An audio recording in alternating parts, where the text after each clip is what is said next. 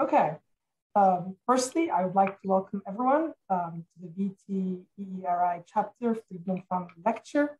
Uh, we are uh, very, very happy and proud to be hosting um, Ms. Janiele Maffei today. Um, and without uh, further ado, I will hand over to Pat uh, to introduce uh, Ms. Maffei for her presentation. Thank you, Abdul. So um, again, it's, it's our pleasure to have Mr. Neil Maffei with us um, today, providing this lecture for the Friedman Family Lecture. Um, Mr. Neil Maffei is the Chief Mitigation Officer at California Earthquake Authority, Sacramento, California. Um, Ms. Maffei, she received her MS degree in civil uh, structural engineering and a degree in architecture, both from the University of California at Berkeley. Ms. Maffei is licensed as both a civil engineer and structural engineer in California with over 40 years of experience in the design of new buildings, retrofit designs of existing buildings, seismic evaluations, seismic loss estimation studies, design of equipment anchorages, preparation of the construction documents, project management, and construction administration. After 15 years as a project manager and regional office director with Douglas Cope engineers, she opened her own practice where she managed complex design projects involving many disciplines. Um, in 2011, Ms. Maffei joined the California Earthquake Authority as its chief mitigation officer. In this capacity, she serves as the executive director of the California Residential Mitigation Program and manages the CEA Research Department. As executive director of the California Residential Retrofit Program, Ms. Maffei has been responsible for developing policies, plans, and incentives for retrofitting wood frame residential construction throughout California, intended to mitigate the consequences of a major earthquake in California. She also co-managed with the representatives from Federal Emergency Management Agency, which we all know as FEMA. The CEA slash FEMA funded Applied Technology Council Project 110, or the pre-standard for the seismic retrofit of single-family wood frame dwellings, now published as FEMA P1100. For CEA, she managed the 2014 South Napa Earthquake Single Family Dwelling Research Project and the CEA PEER Project, uh, titled as Quantifying the Performance of Retrofit of Cripple Walls and Sill Anchorage in Single Family Wood Frame Buildings, published in 2020. Her other professional leadership positions include Structural Engineers Association of Northern California, um, she, where she served as the board of directors uh, from 1995 to 1997. Uh, she was also the president from 19, sorry, 2019 to 2021. Um, she also was the president of the North Northern California chapter of the ERI on year 2010, 2011. And she also acted as the secretary and treasurer um, from 2012 to 2018. So Janiele, I pass it on to you. Thank you once again for being with us today. Thank you. And I'm so sorry we sent you such a long bio. I apologize for that. no, it's um, very important. Well, I appreciate that. And it's just an absolute pleasure to be with you all today. And I want to go right in, into this uh, presentation. Can you see my screen? No, can't see your screen yet. Okay. I think it's because I didn't click on it. Hang on a second. Okay. There. Perfect. You know, after two years, you would think we, we had this down as a, a science. Right. Okay. All good? All good. Great. Now, I won't be able to see anything in the chat. Um, I am happy to be interrupted with questions, or if you want to ask them in the chat, and if you want to read them out, or you want to wait till the end, anything is fine. I'd, I'd love the dialogue of, of it. Um, but I, I, let me tell you a little bit about what, what I'm going to do today. I'll tell you about the Earthquake Engineering Research Institute, or EERI.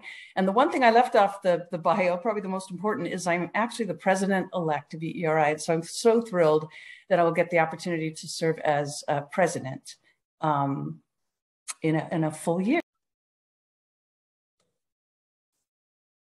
Thank you to unmute. Congratulations. Uh, did you miss all of that? No, I'm sorry. That that was that was my fault. Sorry. Oh, no worries. Um, it would not be unlike me to do, you know, half a presentation on mute. Um, mm-hmm. I think like like all of us. Uh, but let me tell you a little bit about who EERI or who we are at EERI um, and what an or amazing organization. Then I'll tell you uh, a little bit about the California Earthquake Authority that I am now part of. Um, and then the earthquake risk and resilience world that I operate in. But but with, within the context of kind of who I am and where I've come from and and what it means to me. I I, I have um, married, have two sons. They are grown now, both recently married and both have started families. Um, 65, so I'm kind of like towards the towards the end of a career. I, I call my EERI presidency will be kind of a swan song. Um, but but it's an amazing opportunity at the end of my career to to go into this new industry and to bring my structural engineering uh, expertise and but learn a whole new uh, world of finance and insurance and um, of course more about seismology. So uh, it's been really exciting. So let me start with the ERI that is why I'm here today as as an EERI um, visiting professional. It's an amazing organization that um, I have just made so many friends and so many colleagues and have met so many uh, brilliant peers. Established in 1948, it's been around for a long time. Not nonprofit um, membership organization, and one of the most important things is the multi multidisciplinary nature. And I, I, think in this audience we have structural engineering, geotechnical, um, lots of different interests. I'm sure amongst our, our audience today, um, but each of us has a little piece of the puzzle and, and can bring part of the big picture. And the big picture is where it all happens, where all the magic happens is under that umbrella where we're, we're all working towards the same goals. And the mission statement is very important to reduce earthquake risk, not just to, you know, to do science, to, to teach, but to reduce earthquake risk, to really make a difference in the world by advancing science, advancing the practice of earthquake engineering, improving the understanding of the impacts of earthquakes and advocating. Advocating is so important for um, i think we all know that you know the, the, the, bright person who stays behind their desk and doesn't share that of course doesn't um, take the opportunity to, to, to really make the world better with what they know absolutely important to connect to learn to lead to connect um, when i joined the cea I, I, had i had 30 years of uh, networking that I had done through through EERI and people that I could that I could call on to provide things to, to, to us as a consultant, to, to help share, to, to bring value, um, and to help me, of course, be a better employee for the CEA. Much of this um, from my interaction with, with EERI. How I got involved was I had joined Degenkolb Engineers and Chris Poland, the, the president at the time, had said, will you come down to Big Bear with me? Uh, he says, I know you know a lot about wood frame construction. I want you to help me look at it. There was just a, a lot of, of damage magnitude 6.5, uh, uh, kind of up in the hills above east of Los Angeles. Um, uh, a lot of um, some permanent homes, but a lot of vacation homes. And so, you know, um, and, and, a county and a city, which really changed how they they you know in, enforce permits. Wonderful um, educational experience. But what I noticed is this hillside zipper effect, where you know you could tell very very much that the short side of the of the crawl space under the house, you know, which has really you could say infinite stiffness or you know a lot of stiffness, versus this flexible lower part of the house. Um, allowed it to move and the short little shear walls at the top would fail and then the next one would fail and the next one of course because they were stiffer and you would see this zipper effect and um, something that we were, were, just starting to notice, and um, we had an opportunity to write a paper, and I was I was absolutely hooked on EERI and, and what they provided. Members are geoscientists, engineers, architects, social scientists, public officials, emergency managers, and um, from all throughout the, the groups that are necessary to be under this umbrella to, to meet that EERI mission.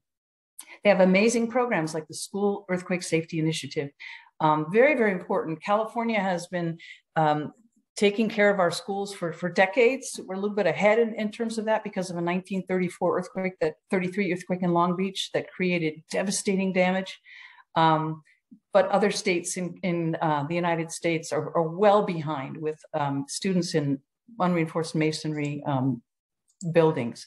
Um, so very, very important to sorry, little things are popping up on my screen here, um, to be involved in making schools safer throughout the United States. Flagship Learning from Earthquakes program. This is where EERI really made its name, brought multidisciplinary teams together. It was really one of the first organizations that, that did this to go into study um, from an earthquake, from all different aspects in that multidisciplinary perspective. Oh, and the most amazing thing that, that just happened a few years ago was a LFE travel study program, particularly for um, early career engineers and researchers uh, that, that sends them with these very seasoned people who have been out looking at earthquakes for decades to, to show them the important things that you do after an earthquake. Student membership benefits are really amazing. In addition to this program, there are competitions, the annual meetings. Um, I don't know if this year is going to be virtual, uh, are really an opportunity to, to network, to learn things, to really start to develop your, your community. And there are many things you can do right after graduation. There's a student leadership council, a young members committee. You can join the regional chapter in your area. Um, just a lot of different things for you to be part of the ERI. So I, I, really do recommend, and it's very, very inexpensive as a student and as a young a member to join. And it's really an opportunity to start to develop that network. Um, the regional chapters are here. Um, there are um, uh, throughout the United States. I think people forget that you know there there is in fact risk throughout the United States, and um, the student members get a first year of young professional membership free, and then reduced rates for four years. So I really encourage you. Amazing people. EERI.org is where you can go to learn more about it. Um, so that's EERI. That's uh, why I'm here today. But why I am doing what I'm doing is because I was a consulting engineer. As I, as I mentioned, earthquakes became a, a really strong interest of mine very, very early on. Obviously, as a student at Cal, there's a, there's a tremendous focus on earthquakes. There's tremendous focus in our practice because, of course, I did mostly structures in California. Um, but when you talk about resilience, you're talking about something really bigger than just the engineering. And um, the California Earthquake Authority's job flashed across my screen when I was sitting at home. My husband and I had been traveling a great deal. I was really kind of into semi retirement. And I just thought, I'm not done yet. And this is what I want to do. And it's to bring earthquake resilient housing to Californians um, earthquake resilient housing. And um, that resilient part, and to all Californians, was just so intriguing. Very quickly, my education and experience, some of that was in my bio. Um, but when I put this together, I think it's important. I added the home stuff because it's really important when you when you're selecting a career when you're deciding who you are and what you want to be um, you know i was a, a, female engineer when there weren't a lot uh, there, there were six females at, at Cal when I was in, in, the graduate program. Very, very used to being just you know one female in, a, in an office, maybe two, in a in a uh, a meeting, in, in a workshop. Um, I can remember going into the uh, the C or I think it's the EIT, and I thought I better go to the restroom so that you know well, there's no line at, at, the EIT restroom on the women's side. Um, I kind of smiled uh, that I had forgotten that. Uh, but but we call it work-life balance, but we really need to call it life because um, there is really you know there's no huge boundaries between all of that. And so I um, raised sons, and um, to do so you know, in the time that I was there, I had to do that by by quitting my regular job where I was on the mommy track and starting my own business. So on one day I was a, a member of Forell/Elsesser Engineers, and on a Monday I was Janiele Maffei consulting engineer, and it was a wonderful experience. To be the person who stamps and signs and makes all the decisions is really a, um, an enabling and a, a, a growing experience. Um, but then, of course, when they were kids were back in school, I went to work for Degenkolb Engineers another stint as a consulting engineer, and then I ended up with the California Earthquake Authority. So a whole life worth of experience that I brought with me to this job, and I um, love this job. But one of the most interesting things is that I spent my entire career as a um, you know, studying the physical sciences, uh, practicing uh, engineering is applied science, so applying the physical sciences, and, and then realized to be successful in this resilient res- residential um, world in California, I was going to be have to have to use a lot of social science, and um, certainly had developed some of that. And some of my uh, participation in these organizations as leader and as a speaker certainly helped with that.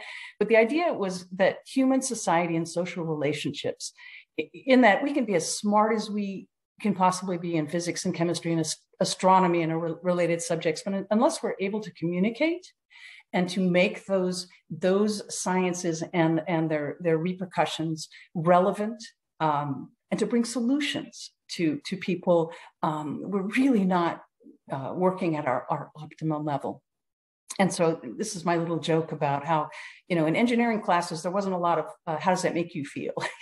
There wasn't a lot of talk about it. You know physical sciences are you know one plus one is is two. Certainly when you get into some higher math you kind of think that somebody's making that stuff up. But um, you know pretty practical pretty pragmatic the physical sciences. The social sciences are the touchy feely the you know there's all kinds of words for it.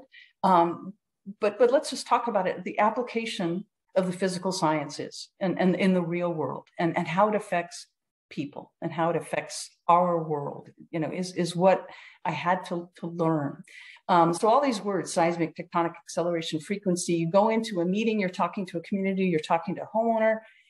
There's a small group that might find it interesting. They might you know if they're listening to you be googling a, a word. Um, but for most of them you know it, it's not something that's really resonating to the decisions that they're making. The words that are resonating are financial security safe strong resilient um, consistent ready survive prepared family. You know why am i doing this? I'm doing this to protect my family. I'm doing this to um, to have the financial security, to continue to protect them in the event of a damaging earthquake. And so you have to translate all of these physical science um, decisions and solutions and analyses into solutions and um, uh, recommendations using words that resonate to people. And so, with that um, in mind, let me tell you a little bit about this organization that I joined in 2011. The California Earthquake Authority is unique. They are a not for profit residential earthquake insurer. Excuse me created in 1996, but created because in 1984, the state of California passed a law that said that earthquake coverage is excluded from the homeowner's insurance policy. So it's excluded. However, at the same time, they said if you are writing homeowners insurance policies in California, you must offer earthquake insurance. They wanted to make sure that the, the insurance company wasn't always on the hook for that loss but they wanted it to be available to California homeowners. And so um, at the time, modeling was at its infancy. You know, there were there were some you know large computers. This is you know back in the day when you still were bringing cards into a building um, for somebody to run a, an analysis program for you. No laptop computers, no desktop computers. Analysis was at its infancy. Supercomputers weren't you know in offices all over the place. Um, and so insurance companies, based on what they understood about earthquake damage, uh, uh, were selling policies, and there was huge take up in California. You know, maybe close to fifty percent.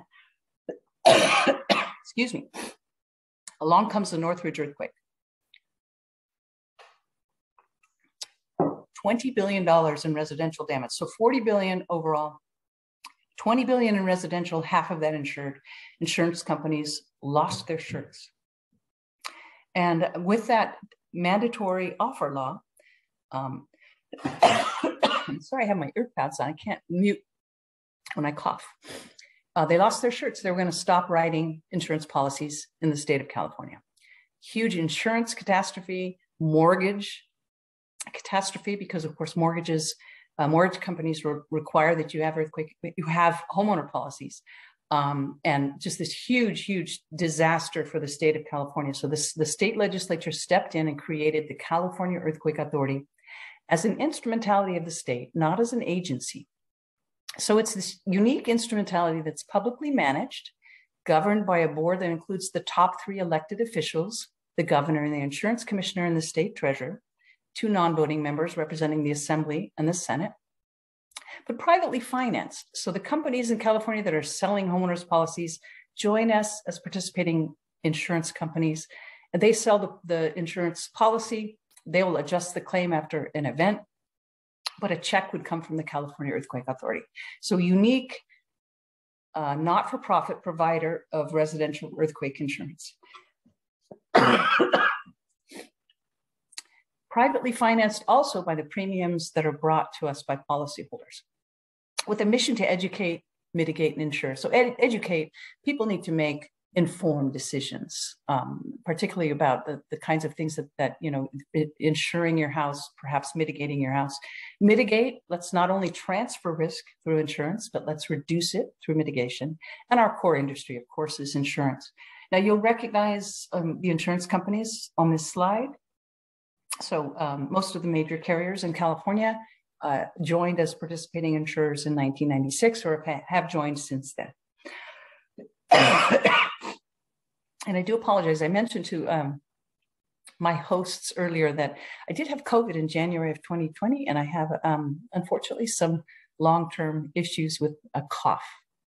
Uh, it's important to note that um, an insurance company, when you uh, sell a policy to a homeowner, they bring all of their risk and one year's premium.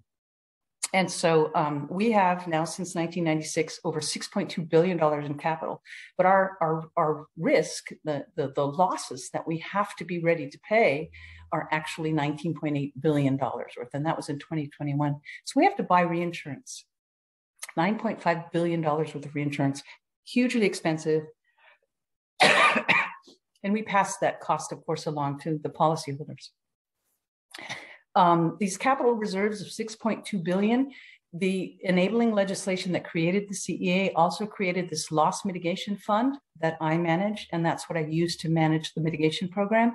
5% of investment on this 6.2 billion every year, up to $5 million, comes to the loss mitigation fund for my group to use towards mitigation. And of course, this is meant for the policyholders my program, our mitigation program, is intended for all Californians. So we have a, a $5 million uh, investment in that every year. I talked about education. One of the things that we're constantly battling are the myths. Um, I, I, joked earlier about what I call the Dwayne Johnson earthquake, you know, the, the San Andreas movie. um, but there are some very basic myths, but they're pervasive. And one of them, unfortunately, is my residential policy will cover me for earthquakes uh, as I mentioned, there's a state law that separates it. And it's just heartbreaking after an earthquake to find that people didn't know that their policy does not cover earthquakes. The other one is this notion, after any disaster really, that the government will bail me out, that somehow FEMA was created to make us whole again after an earthquake. And that is not at all what FEMA was created, nor do they have the financial uh, structure to do so. Rather, they, they come in with um, urgent health and safety needs. And in particular, they were set up to, to do that for um, vulnerable communities. If in fact you have means, if you're paying a mortgage, if you, if you are um, you know, employed, um, your application for, for assistance would be given to this, the S, S, um, SBA, the Small Business Association, for a, a low interest loan, and that has to be repaid. So these, these numbers that you get you know, in terms of a grant after an earthquake for vulnerable communities, I think in, in most uh, disasters comes out to be, you know, somewhere around $5,000. So, so the intent is they're not insurance. They're not intended. They may pass laws and come in with millions of dollars after an event, billions, but that takes years to get to, to trickle out into the community. It might be managed by FEMA, maybe by HUD. And of course, you're standing in line. So somebody who wants to be resilient, this is a very ineffective and very painful um, system. So for people, frankly, who can afford earthquake insurance, um, we do have some amazing products. There are competitors, and we and we're an instrumentality of the state. We encourage people to to shop around to find the best uh, deal that they can. you do find, though, uh, particularly for the expensive houses in California, uh, that if you live near a fault, um, that uh, it can be quite e expensive. But we, you know, this is our core industry, and um, certainly are, are, trying very hard to get as many Californians insured as possible. Um, but let's let's talk about risk for a minute because I'm going to tell you about the mitigation program. So I want to tell you about the, the components um, that we are looking at when we're looking at the earthquake risk to Californians. A risk is hazard plus vulnerability plus exposure. Um, sometimes people say hazard times vulnerability times exposure. Um, obviously, the uh, the uh, computer analysis behind a, a, probabilistic study and all of this is going to be neither a plus sign or a multiplication sign, but it is th these three components. Uh, hazard, of course, where you are, what kind of soil you're on, what, what is the soil makeup between you and, and the fault rupture, vulnerability, what kind of a structure um, and you can correlate that very, very carefully with age because, of course, it, it correlates to the, the permit, uh, pardon me, the building um, code to which the building was designed. And then exposure. Um, one might say that, that New York City has the highest uh, earthquake risk, despite its very, very low probability of happening, just because of the, you know, the dollars um, of real estate there. Uh, but uh, those are the, the three. Um, to the individual building owner, to the individual homeowner, though, this is a picture of their sole property, or perhaps they have a small portfolio. Maybe um, the mom and pop has, you know, a small apartment complex, three buildings, but exposure in most cases actually is quite small. So hazard, hazard, it's important to note, includes not just ground shaking, but surface faulting, ground shaking, landslide liquefaction, tectonic deformation, tsunamis, and, and seiches. So um, all of the, the pieces of um, what an earthquake can produce. I mentioned that location is important. Of course, location is, is essential. And when you're looking at California and you look at um, the, the tectonic plates around the world, the circum-Pacific seismic belt that's often referred to as the Ring of Fire is number one on the list in terms of um, the, the zones in, in the world that are the most um, seismically active. And of course, that San Andreas Fault that runs right up the coast of California is, in fact, the uh, separation between the Pacific and the North American plate. so obviously, we're able to map now. As I said, mapping was its infancy in the 80s. There's been a tremendous amount of progress. We're able to map the, the risk and um, have done so for the whole United States. I think people are often um, surprised by the, the you know the brighter colors over certainly in the New Madrid uh, area, south of, of Illinois, uh, and then of course out in the the South Carolina area. Um, the reality is, is that um, that that what would you call that quadrangle in the middle near Oklahoma City are man-made earthquakes. That is finally been mapped. The um, the man-made earthquakes from the fracking that has happened in that area of the world in uh, northern Texas and in, in Oklahoma. So um, obviously Alaska, hugely um, seismic, um, very, very sparsely populated though, of course. So, you know, you can find some places, um, not without hazards, of course, they've got their, their own hazards, but earthquakes are, are um, found throughout um, the United States. When you're talking about the East Coast, a little different. That that ring of fire doesn't run right up you know, by, not bisect your state, but run right up the edge of, of your state, but rather it's out in the, the mid-Atlantic ridge. The, the, the tectonic plate boundaries are, are out here. They go right up through Iceland.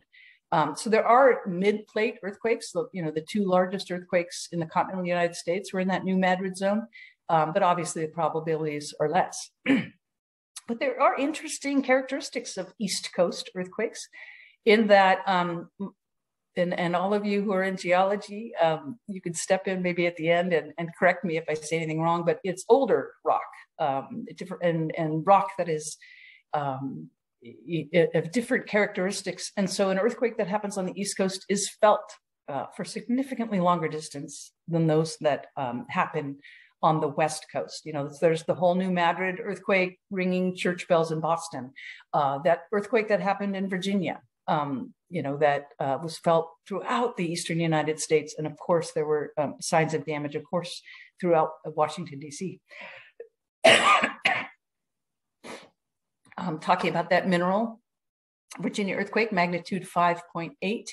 Um, this is a, a, a, shake map so showing um, uh, the perceived shaking from that earthquake. And of course, earthquakes really are local. You know, you, you find areas of high concentrations of, of, strong shaking, and in this case, that's exactly what it was. And then, of course, it it attenuates, it dissipates as, as you go out.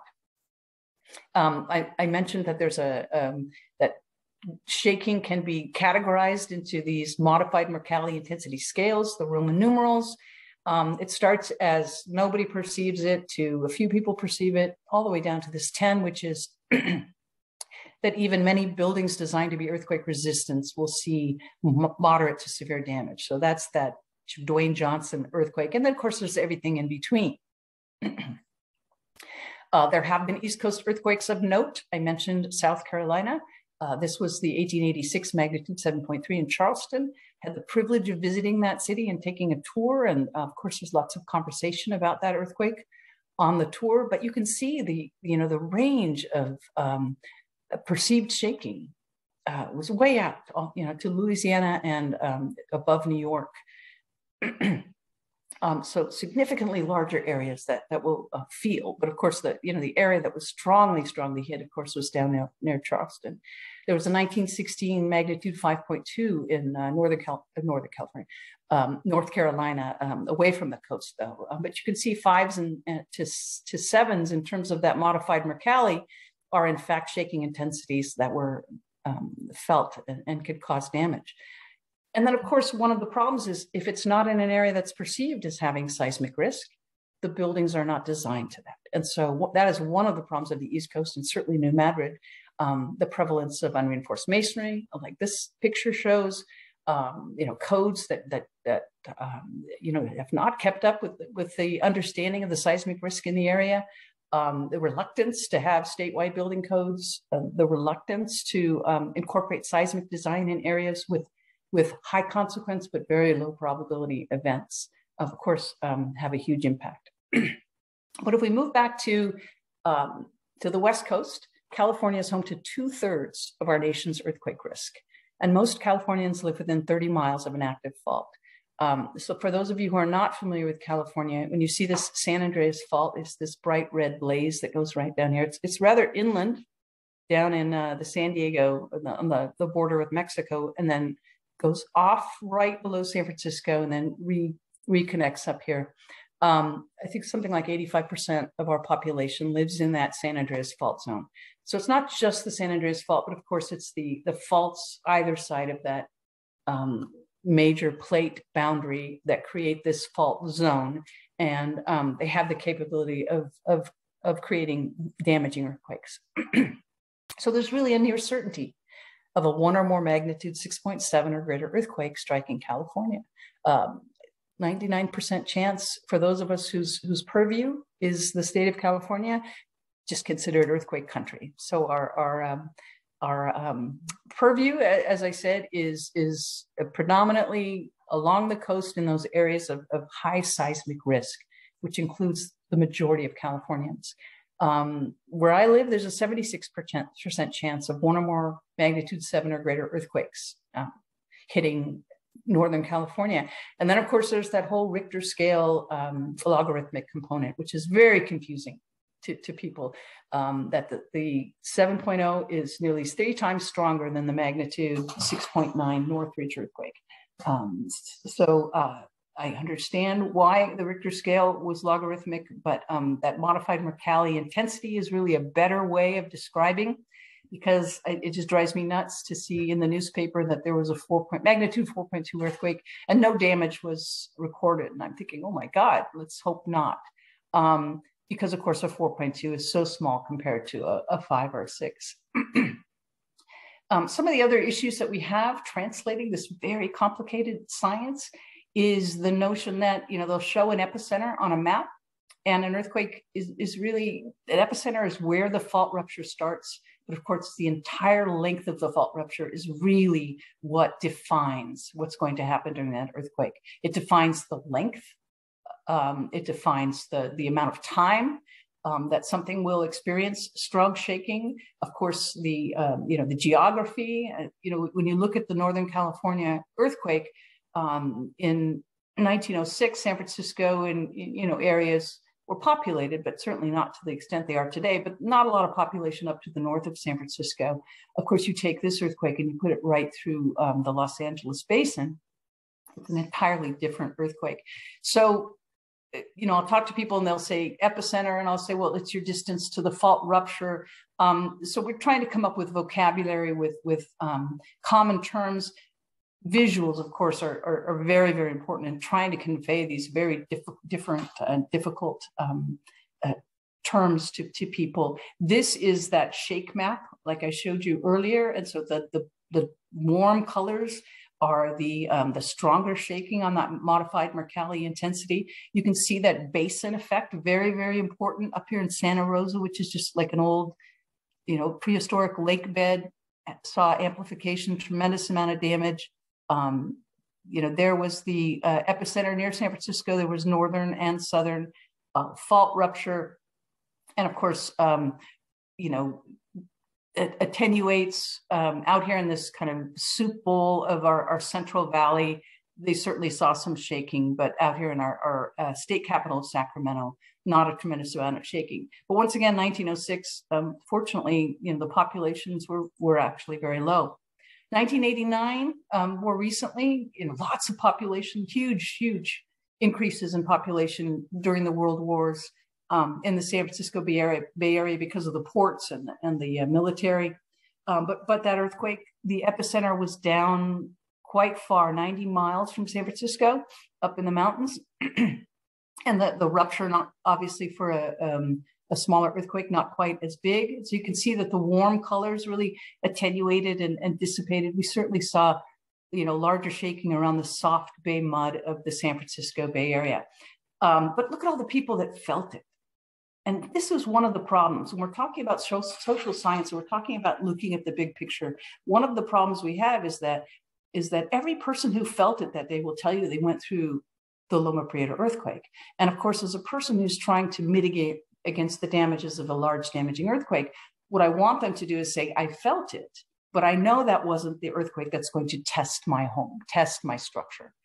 Um, and, and that's hard, a hard step for people to take. And so you'd think that sometimes these earthquakes are going to encourage um, mitigation, encourage behavior changes. And what they do is they embolden. And um, it, it, it's important that we that we show them and and are very clear about the fact that you put this earthquake in your backyard. It's a very different experience. And then also, you know, that the size of the earthquake. So here, for example, is the Loma Prieta earthquake to scale on the left versus this, the um, 1906 earthquake on the right. And look at the tremendous increase in real estate that was affected by that 1906 earthquake. And so all of these, these pieces that we understand and go into our probabilistic models are things that we need to, to find simple and, and um, easily understandable um, uh, lessons for the, the public so that they, they don't go immediately to that very human, um, natural response, which is, I'm going to be okay. You know, we do it all the time. I mean, we all, we all have seen that. Um, so I mentioned to you, you take that 1906 earthquake, you put it down in San Francisco, pardon me, in the Los Angeles area. Well, they did that. They did that as a scenario earthquake and they modeled the damage and it started down at the Salton Sea. This is LA County right here and you could see it just ripped through all the way up uh, through LA County, um, billions of dollars worth of damage. And this is a, a, scenario earthquake that people are using to plan and, and to make decisions down in Southern California. So these, these maps can be very useful. Um, but once again, all of this information, of course, needs to be very carefully and clearly explained to various groups of people that you're, you're hoping will take action against damaging earthquakes. So let me tell you what we're doing with our California residential mitigation program. With all of all of the background that I just gave you, California is earthquake country. Um, you know, we we know that people have felt earthquakes. We know that that there've been some damage. We know that you know there there are no laws that are that are, have been passed. So we're looking for voluntary buy-in that that they have the risk and that they need to do something about it. That they're going to um, take the time. They're going to spend the money um, expend the, the energy on something and we're, we're trying to convince them. And so we, we, we talked about hazard and um, uh, California's earthquake country, we're in areas of high hazard. Once again, we're fighting against that. Well, I went through the Loma Prieta earthquake. I, I always tell them, well, you went through the Kobe earthquake as well, but it's, it's about on a par in terms of the damage that you had. Um, but hazard we've got those maps you know there is a realization in california that it's earthquake country. And now we have to say you individually live in a particular house that may have a seismic vulnerability. And so what we did is that we worked with uh, the applied technology council to develop this document. It was like three years uh, three or four years of work. Fema was our co-sponsor. And we said let's let's take the top let's do some structural triage. Take the top four elements of, of residential construction in California, single family residential construction, and let's identify it. Let's figure out what you should do for it. Let's create plan sets that are pre-engineered when you can use them in design methodology. And let's have a, a cookbook that tells people what you should do about these and then develop simple visual cues for each of these vulnerabilities to help people identify them. And the first one was the cripple wall home. So let me, let me go back to that. That's the one on the left. So that's a house that has a crawl space. You know, there's a little door that you can go underneath and you can see short little wood studs that hold up that first floor. It's sitting typically on a concrete foundation. Living space over garage is you take out all the elements that resist seismic forces, which are walls on that first floor. You put spindly little columns next to that garage door. And essentially you've created a soft story in a single family house hillside houses. Uh, this was a, a, house in which there was a fatality in the 1994 earthquake in Los Angeles. It was a pole supported house. They have no right to be built in California. Fortunately, there aren't many of them. Masonry chimneys are everywhere. With the um, push to not burn wood anymore, you know, really they should just be taken down. If you want to put in a metal insert with a, a light flue, that's fine. But they're the top four. So there's the, the four. This one, the, the cripple wall, we chose as our, our first incentive program because A, there's so many of them. B, they're easy to identify because we can use age as a proxy. And three, uh, we are also doing another project that that showed us what the, the savings are when you do the retrofit. So let me start with um, age as a proxy. If you have a pre-1980 house, you might have this cripple wall issue. If you have a pre-1940 house, you will have this issue. The cost, here is something that we did with PEER. Let's take a San Francisco magnitude 7.0 earthquake, this red um, bubble, I think we'll call it, or pin. If you have a single family stucco house, best performing house, it's about $60,000 worth of savings. But that's for a $200 per square foot house that's that's a thousand square feet. So you know you can multiply all these numbers by two to three for the san francisco bay area. That $200 was selected as just kind of a, um, a benchmark. But we're talking about you know $150000 for the best performing house. When you look at the worst performing house in san francisco under that 7.0 magnitude and it says 200 as i said we're multiplying that, that by two to three because the, the, the, replacement cost of houses in, in California are much more than 200. We're talking about, you know, four to $600,000 worth of savings for a retrofit that's about five to $6,000. So now I, I, have something that I can tell you the cost benefit analysis is great. I can help you figure out if you have this house. And now I need to tell you what to do about it.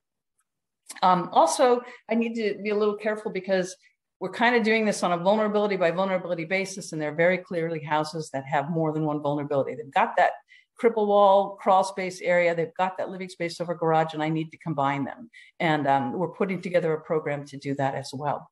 Um, but this is the kind of damage that we see in these houses as well. And, and these pictures, of course, help quite a bit in, in explaining here's that cripple wall, that short little stud wall, you know, not properly anchored to the foundation. And there's no element, there's no, no finish on this that has any capacity to resist lateral or horizontal forces. It can sever gas lines, creating fire. It can block egress, of course, to a person with um, uh, mobility problems that can be deadly. Um, to people who are, uh, live in vulnerable communities or low income where they haven't been able to maintain their house, their houses are even more vulnerable. And what we did is we created the earthquake brace and bolt program. And um, I thought I had changed this uh, we are now at 16,000 houses in California retrofitted. We provide up to $3,000 toward that, that $5,000 retrofit.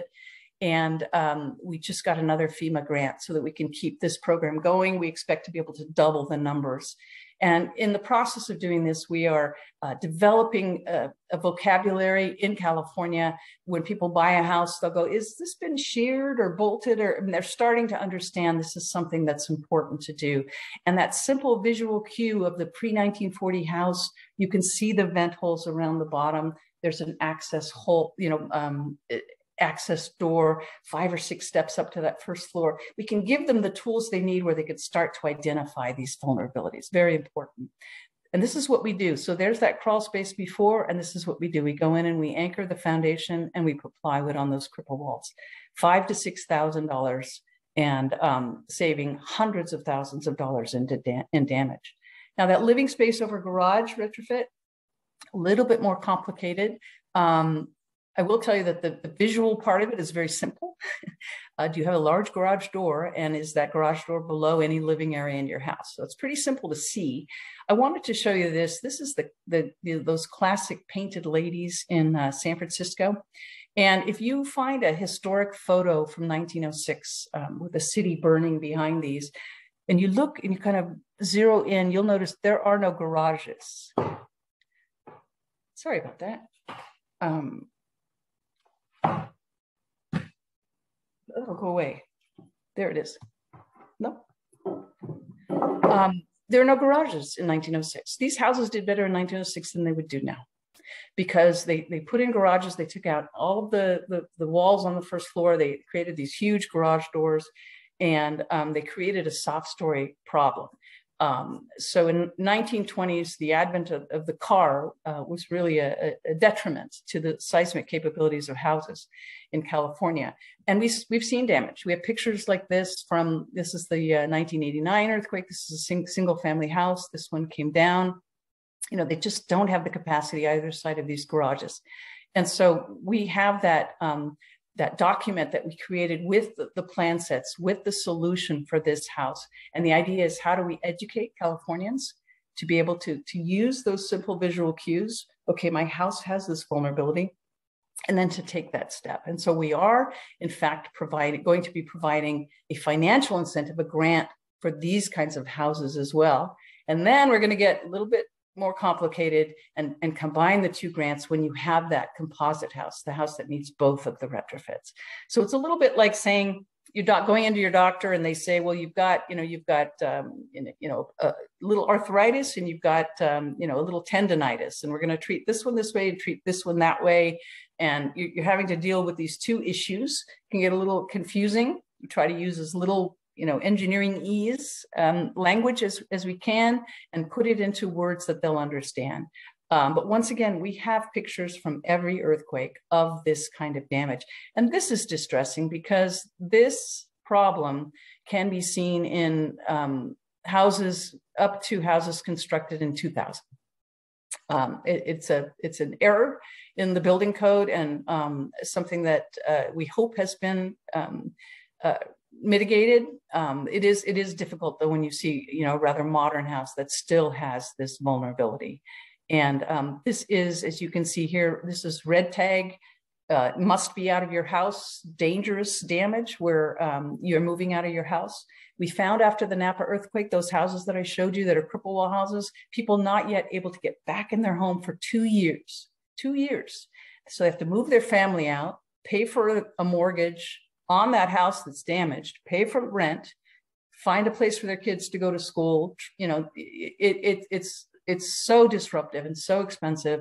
And for five thousand dollars, I can I can significantly increase the probability of you staying in that house. Now, mind you, for something that you may not see in your life, but if you do see it, um, will be this kind of of, of um, absolutely um, disruptive damage to you and your family and your finances. Um, once again, the retrofit is very basic. Uh, if you have enough room, you can come in and put plywood on these, these walls. They have to be about five or six feet wide, and of course, they're usually not. So there are proprietary elements that are um, these steel, steel shear walls that can be inserted, and then of course you put plywood around the rest of the house. Uh, these cost about a thousand dollars each. These these proprietary elements. Um, and you sometimes have to put in a foundation. So it's a more expensive retrofit. We're not exactly sure, maybe in the $10,000, $15,000 range. Um, but once again, these can be a total loss of the property. So this is truly hundreds of thousands of dollars in damage that you are um, preventing with a very simple retrofit. And that cripple wall retrofit that I showed you can be done in two days. These are a little bit more intrusive, might take um, you know a week or so. Um, but really, the, the, the time frame and when we put a grant into into the um, into the uh, the mix, um, you know, starts to become affordable to California homeowners. If you have a multifamily soft story, you might be putting in, you know, more of a steel frame or a very unusual condition where that um, proprietary element won't work. This is fortunately very unusual. And of course, um, once again, you know, these companies are making uh, these elements that um, are very easy to design and very easy to introduce. Now, when we rolled this program out, we were agnostic as to the um, financial situation of the homeowners. We selected the, the locations based on the um, high seismic risk. So right there by that San Andreas Fault and by the number of pre-1940 houses in their community. And it grew, and we were really have great coverage along that San Andreas Fault zone in California. But we recognize that with just $3,000, we don't meet the needs of a lot of vulnerable communities, and particularly um, people who qualify as low income. And so all along, we have been hoping to roll out a low income uh, program, and we're so excited we were able to do it. Um, in the fall, we rolled out our supplementary grant program for low income home, homeowners. And so what we did is um, this is a map that is showing all of the dots are retrofit in Los Angeles County. And we're going to roll it out in every every area that we're in. So we're in most areas in high hazard zones in California. We'll, we'll have this additional grant for low income families. They'll have to, to provide some financial information to prove it. I think many of you may be surprised that $72,000 as a household income is what qualifies as low income. I mean, it's just outrageously, housing is so outrageously expensive. Um, and, and we're going to do a, a couple of things so we zoom in a little closer and you can see our dots, you know, these bright red colors are really the high areas of higher um, numbers of low income people is we're going to do a couple things is we are going to increase our outreach in existing earthquake braceable zip codes where we are.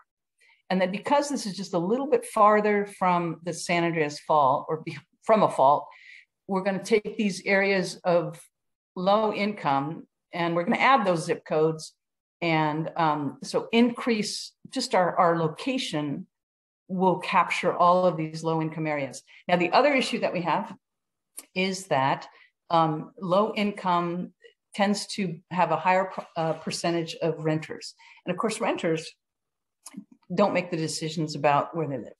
Um, it, it's even difficult if you wanted to include seismic in one of the categories. You know, you, you want a house that's uh, affordable, you want it in a good school district, you want it close to your job seismic is going to fall way far, uh, far down the list.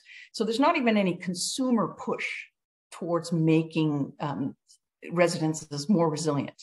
Uh, and so the idea here is we are going to start to provide uh, incentives and have a very targeted market towards not the big companies that own thousands of houses, but people who own small numbers of houses. I, I, made it for a while there without coughing. I do apologize. I know I'm rupturing your ear, eardrums. So going back, I am just so excited about this. This is new.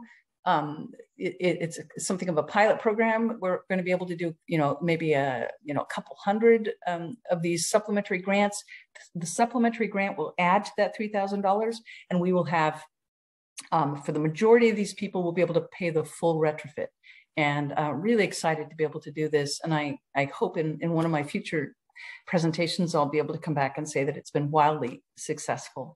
Um, but I've been waiting now for eight years to implement a low income program and um, very excited to introduce that. And then finally, we we don't have unlimited funding. I can't retrofit every every house in California this year. So we're, we're using FEMA funding. We take that five million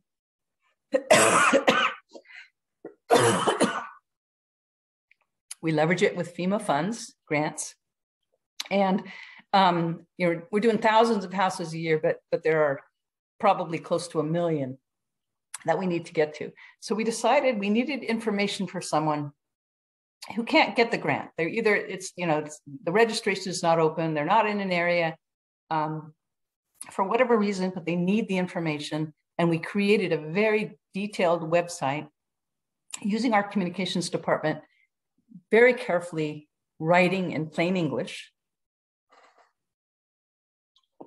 all of the things that I've just explained, providing information with simple maps about your hazard, information with photographs, simple words about your vulnerability, and then information about solutions, what to do.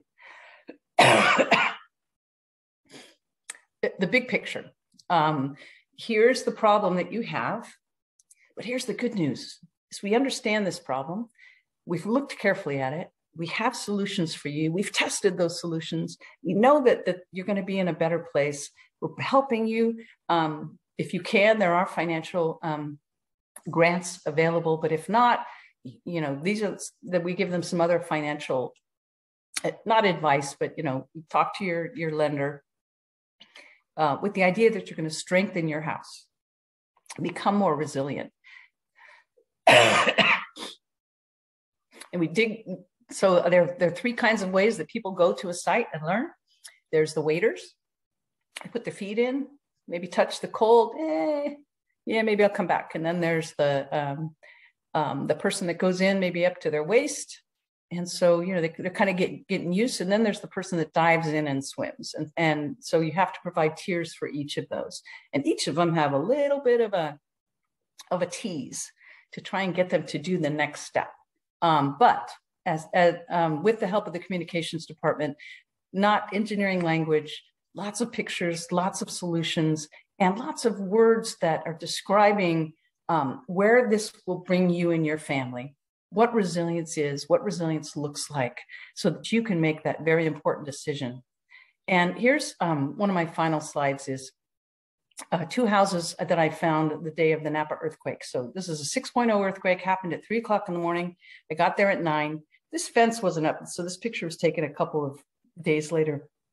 But this house, almost identical to this house, with the exception of the porch, had come off its foundation. This house had a little bit of damage, you know, which is what you, you should expect. Owner comes walking out of the, the blue house. This one has got a you know tape around it. Everybody's out of it. The guy in the blue house goes, Yeah, I guess I was lucky.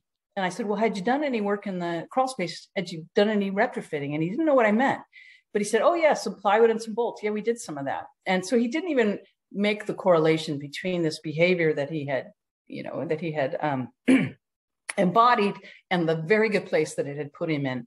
But for the next two and a half years, as you watch this house unoccupied being constructed, tens of hundreds of thousands of dollars going into the house next door, all the while not able to occupy, I think he he got the message.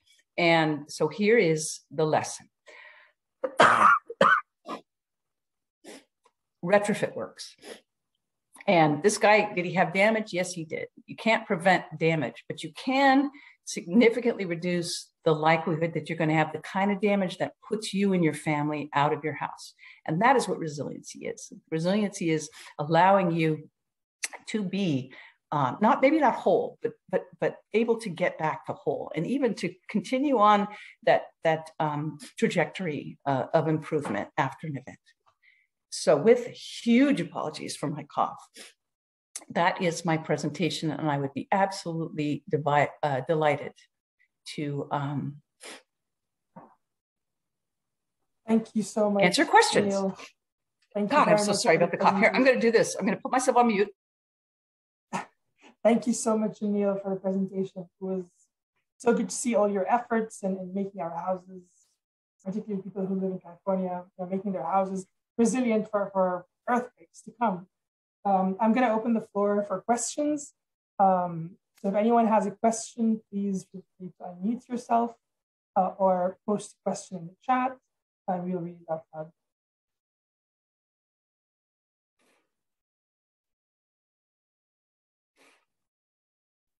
Everybody's thinking, that was a lot. um, I, I have a question to start with. Um, I was going to ask about uh, the planning of these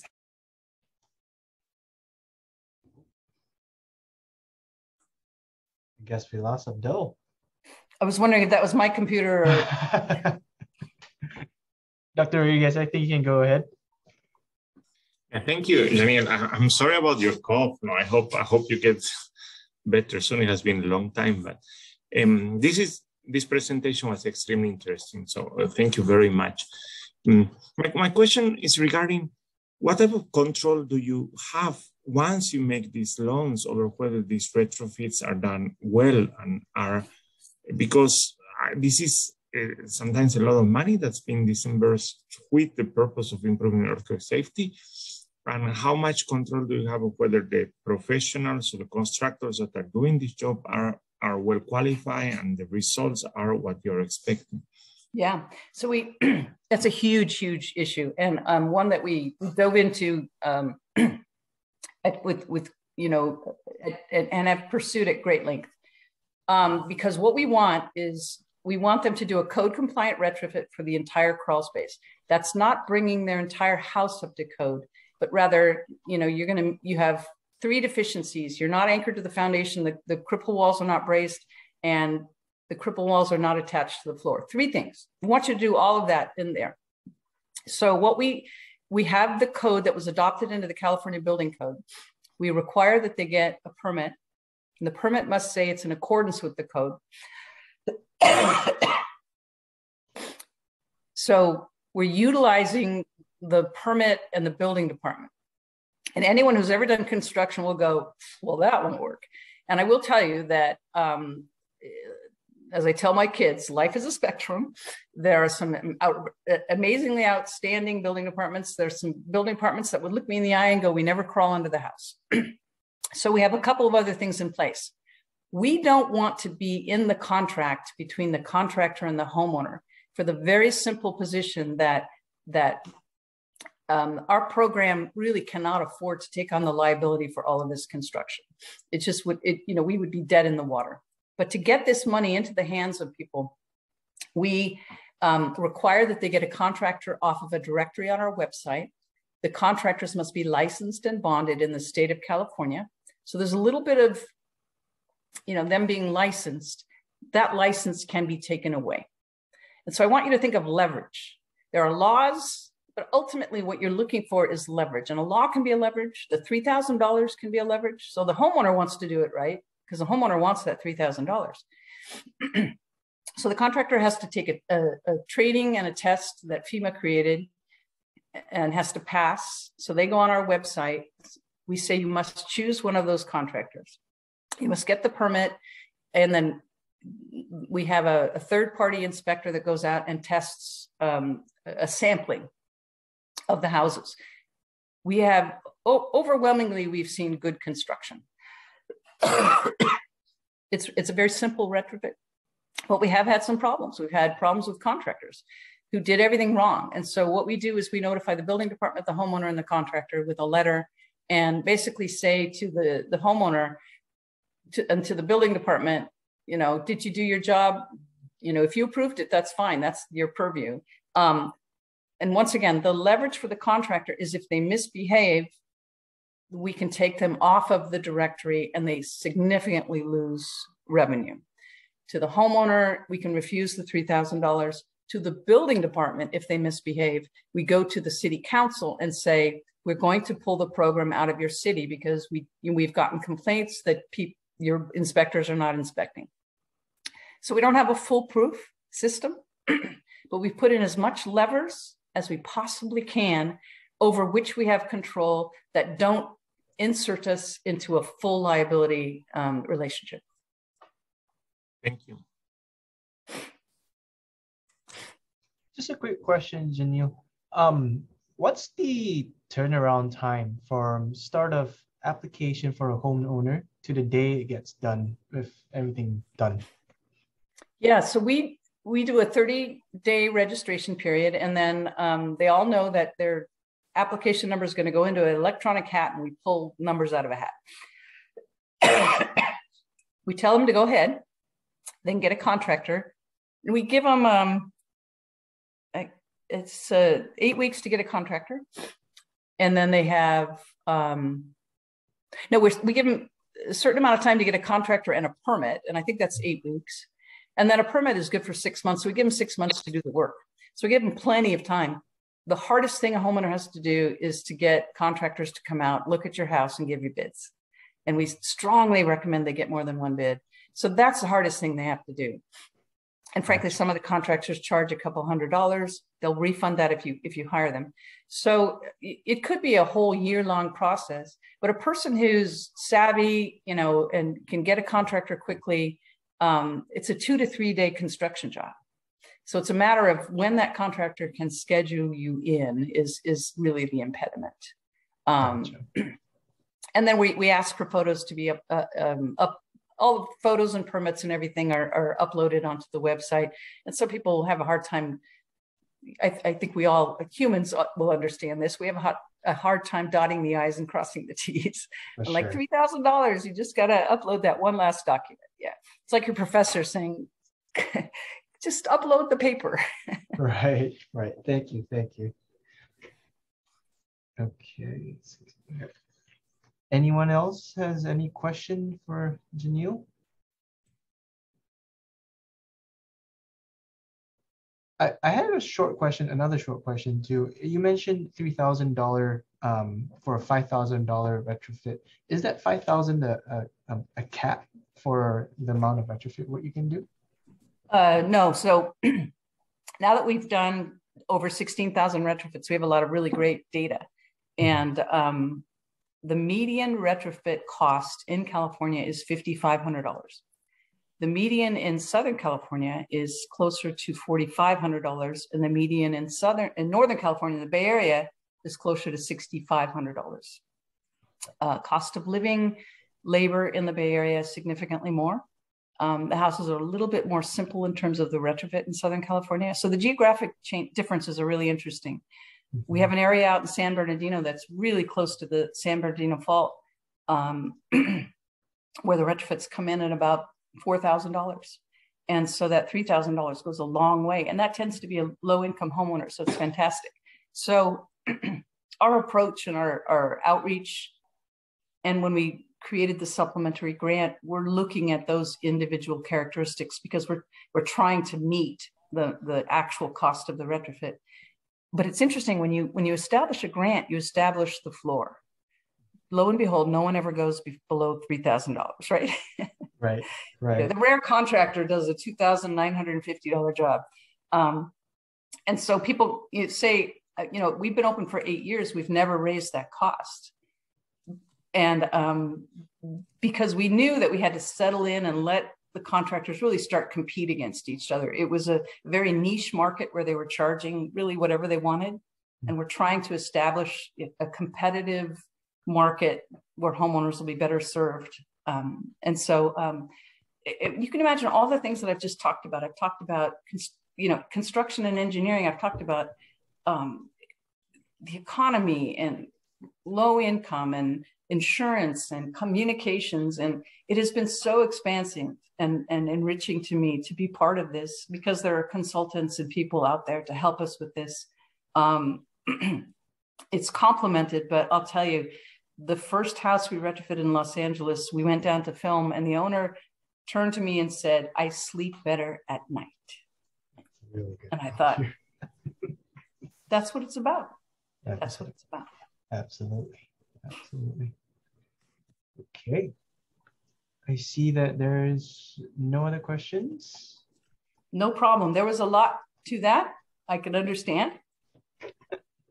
uh, but I once again, I really thank you uh, for giving us that lecture, Janiele, and you embodying the whole resilient attitude. I mean, going through the whole lecture with all its coughs, we really appreciate your effort with it. Um, so once again, want to give you a big thank you for doing this lecture with us.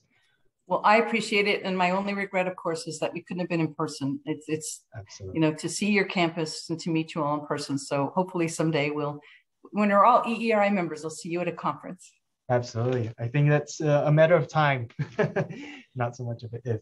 Um, so yes, we will have our next session at 6.30. Uh, still using the same Zoom link. Okay. Um, so I think right now uh, people can go and take a break and then just join back in right in this room right again.